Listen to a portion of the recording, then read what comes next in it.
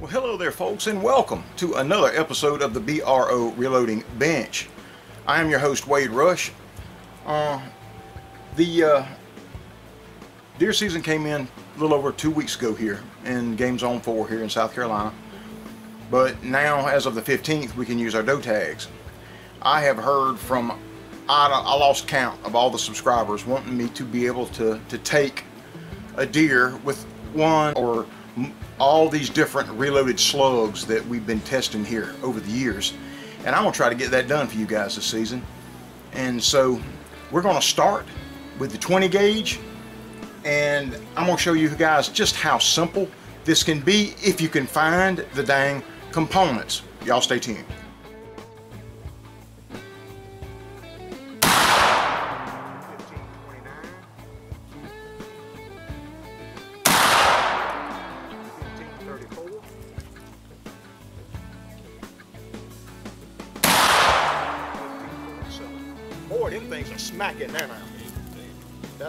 That is a mechanism load right there.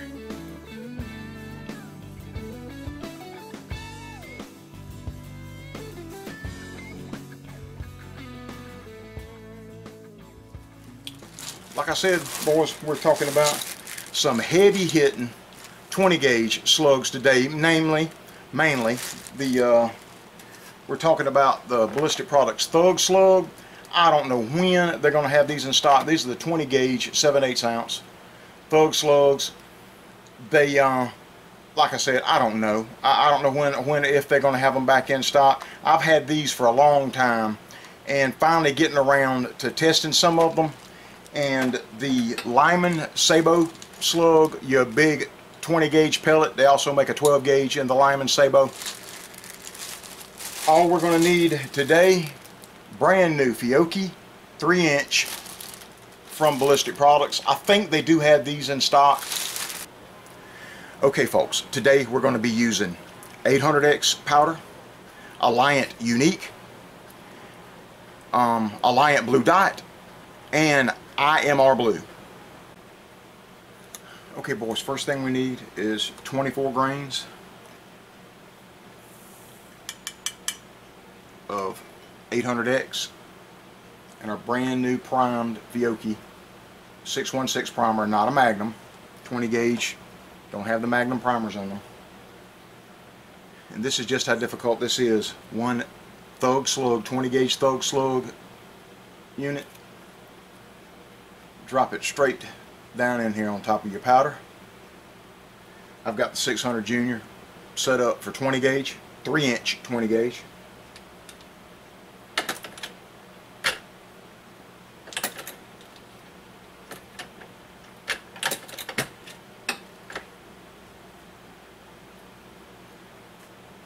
Just like that.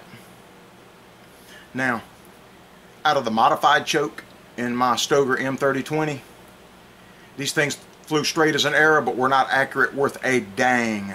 I guarantee you, rifle choke tube will tighten them right up. I haven't tested them with the rifle choke tube yet, but uh, but we'll get to that. Let me show you how this worked and the velocities that we got. Okay, Ballistic Products. Thug Slug, 20 gauge Thug Slug. This is the 3 inch Fiocchi primed. Brand new hull, 24 grains of 800X and the 20 gauge Ballistic Products Thug Slug. I'm going to shoot a three shot group at 50 meters. I'm going to try to hold just on the bottom of the bull just to see where this thing is hitting.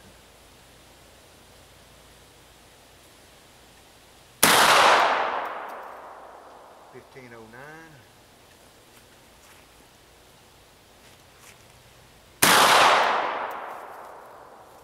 Looks like fourteen sixty two.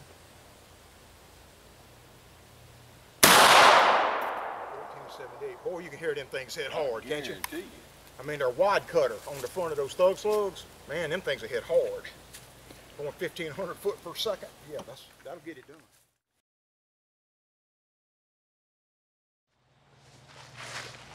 But they're flying straight as an arrow. Might, uh... Anyway, I don't know what order we hit them. But we got one right here next to the bull, one here, and one here. they're flying straight, no doubt about it. But with that, that uh, I was holding about halfway right here with that uh, with that big fat bead sight on that uh, on that 20 gauge. It would probably be better if I had an optic of some kind on it. Well, let's try those Lyman Sabot and see how they fly out of it. Alrighty. On the next set of shots, we went straight into the Lyman Sabot. And okay, folks, in the first two sets of shots, we're going to be using 23 grains of Alliant Unique. Once again, we're using a brand new Fiocchi primed 3 inch hull, the AA20 white AA20 wad, and the Lyman Sabot 20 gauge slug. Mine are powder coated, don't have to be. They are because I can. You know, you guys know me. They fit very, very nicely in the AA20 wad. And what we did here, this was just to satisfy my own curiosity. We roll crimped and star crimped this round just to, uh, out of my own curiosity, to just see the differences in velocities. Ballistic Products, I think this is a just a single cam rolling uh, crimp tool right here. Single roller. Um, let me see. The 20 gauge. I'd keep a piece of uh, FC12 wad laying around that I can just set up here in the uh, in my vise so it'll take up the space to grab my old 20 gauge here. We'll try to keep my big arm out of the way.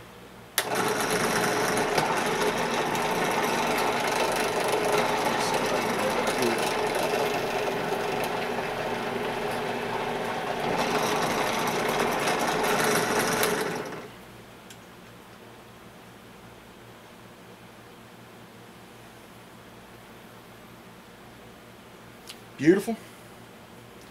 And put put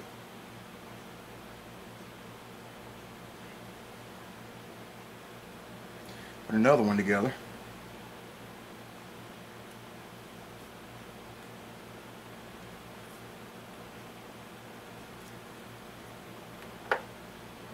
And right over here, and we're going to start start crimping.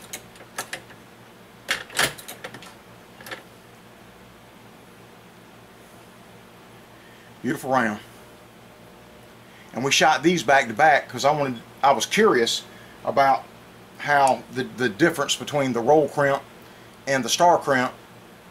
And uh, after I shot the roll crimp set and didn't get really good accuracy out of it, then uh, went ahead and made a decision to uh, give this a try. I've got a little Carlson rifled choke tube here. You guys have any idea how much difference that can make? How much difference do you think that little piece of equipment right there could make in your accuracy? Watch this. The roll crimp, the first three shots using the Lyman Sabot with the AA20, exact same data, only we star crimped the second three shot group.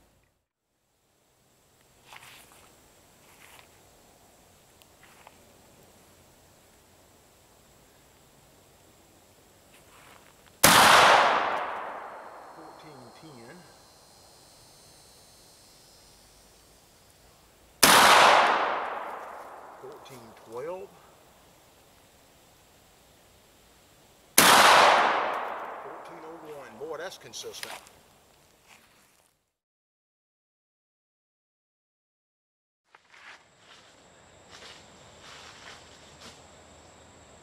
Only hit the target with two. They were definitely flying straight. Looks like either maybe there or there or there. Not really sure. But wow, that's all over the dang place. It's the first time I've ever shot these loads, boys. First time I've ever tried it. We've done a lot more testing with the 12 gauge slugs than we have. I hadn't done hardly any with the 20 gauge. So y'all riding along right here with me, y'all seeing it as, I, as we see it. I don't know, I got uh, two more sets to try. they feel good, but they just uh, they just don't seem to be accurate worth a toot. I might uh, I might have to screw the uh, that uh, rifle choke tube in and see if that don't tighten them up some. I might have to go with the rifle choke tube in the 20 gauge.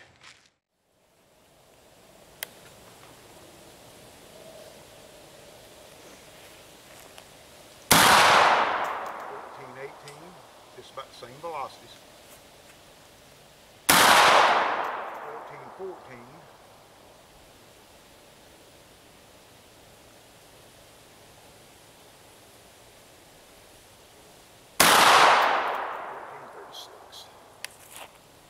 Now that was with the rifle choke tube in here.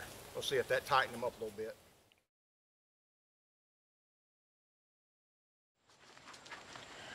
Wade, does a rifle choke tube help? well, what do you guys think? That's I'm holding right there, six o'clock, touching. So, uh, right there, I'd say uh, that would have more than got it done that time. What do y'all think? Fist. I said fist size of a deer's heart. We'd have had him in the heart with all three of those. I got one more three-shot group with 34 blue dot. Let's see how the blue dot does. That blew my socks off, boys. Um, I was half expecting some improvement, but not that drastic of an improvement.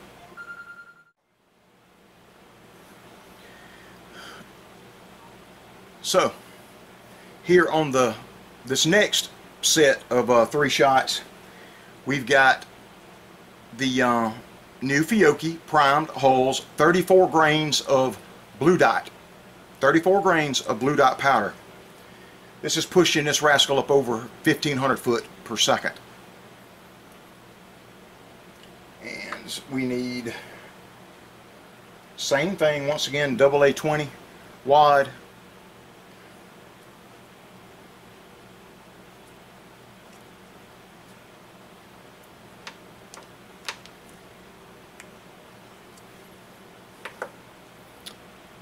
and we uh, we roll crimp this one.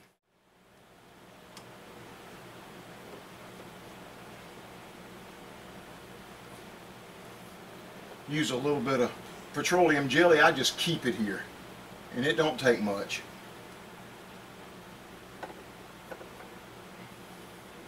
see if I can once again I can keep my hands out of the way of the camera.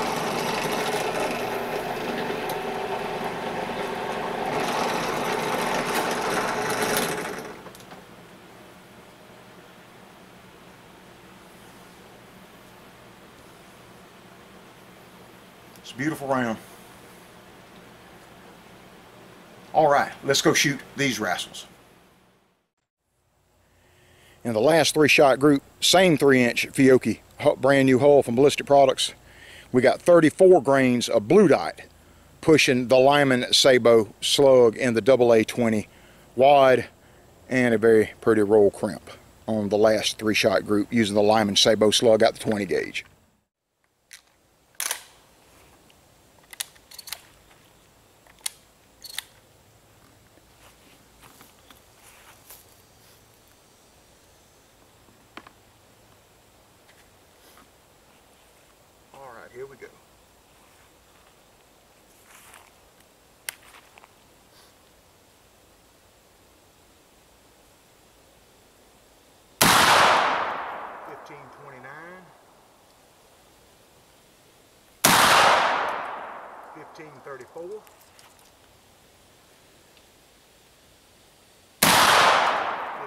47.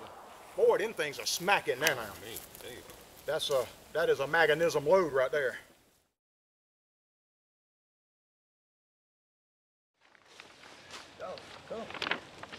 There we go. We've got, we can use either one of those combos, boys. But that last one with the 34 blue dot going 1550. And look at that accuracy right there. That's that's two and three quarter inch, two and a half, two and three quarter inch group right there at 50 meters. And that's where that big fat shotgun sight on the end.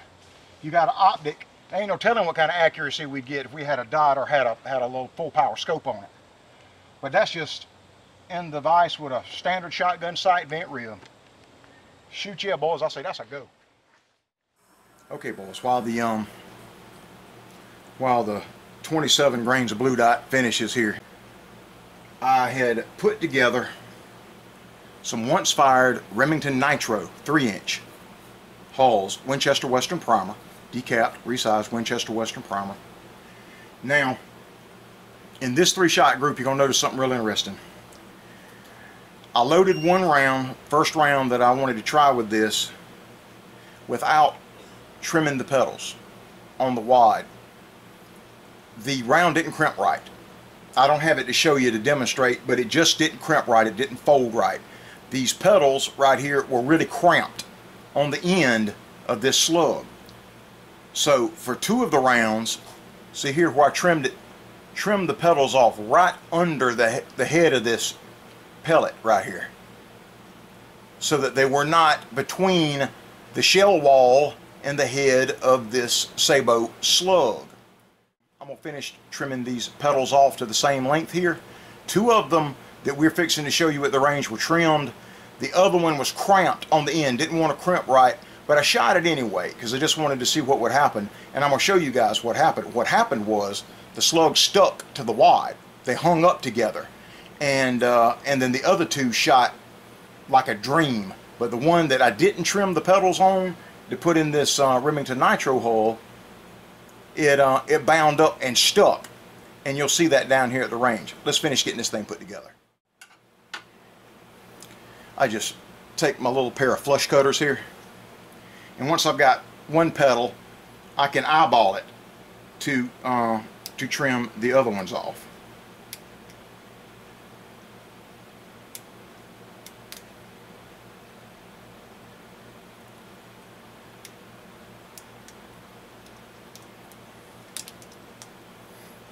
just like that. We're not going to win any beauty contests with it, but we're not trying. See what we're trying to do, boys?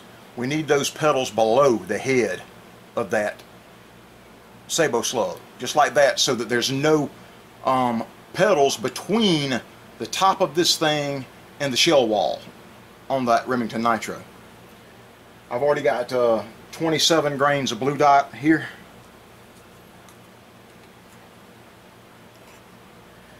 27 grains of IMR blue work equally well. And our trimmed Lyman Sabot slug and our trimmed AA20 wide.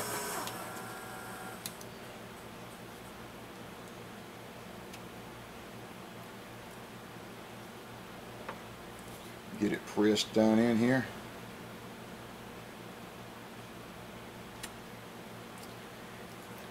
y'all see how tight that thing fits down in there that slug fits in these uh, nitro holes if you've got those um, pedals up there above the head of this Sabot slug it's going to bind up and it's not going to crimp right. May not even fit into your shotgun real good. But you trim that wide and it fits in there just fine. Now we're just going to star crimp this.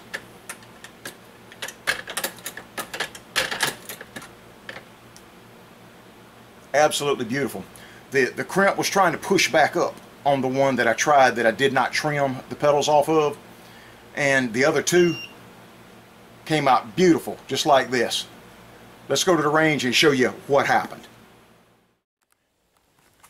Okay, fellas, I, I forgot I had um, some once fired Remington Nitro holes in here.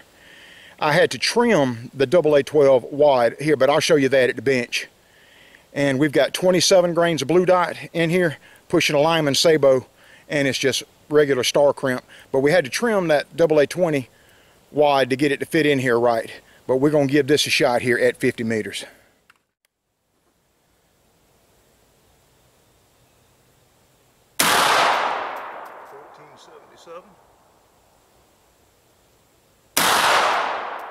Fifteen twenty-two.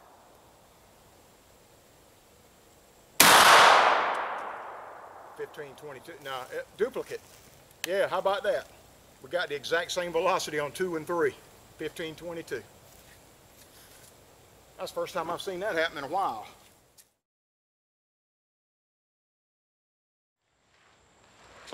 Okay, boys. So, if you don't have the uh, the new ones, Oh, Rachel, we got um, we got four holes in this one, honey. Got one dead center bowl here. Another one here. Another one here. Another one here. I replaced the bullseye. That's going to be interesting to see what happened there. That's probably wide right there. That's not. That looks like that's probably one of um, one of the wides hit right here. So this is going to be. Here's going to be your three shots right there. One, two, three. That yeah, that big old ripped up mess there. That's going to be where a wide went through. But yeah, that's what the once fired Remington Nitro hulls. Mr. Bill still said he's got plenty of those. He's about out of the 12 gauge if he ain't out, but he's uh, he still said he had plenty of the 20 gauge 3 inch Nitro hulls. So you boys better get them quick. He's gonna run out. Well, there you go, fellas. And I believe the uh, the 34 grains of blue dot round uh, with that Sabot, with that Lyman Sabot, that's gonna be my go-to round that we're gonna see if we can take a big old fat doe with here in the next week or two. Um, we're going to be uh, we're going to be showing you how things worked out with the 12 gauge slug.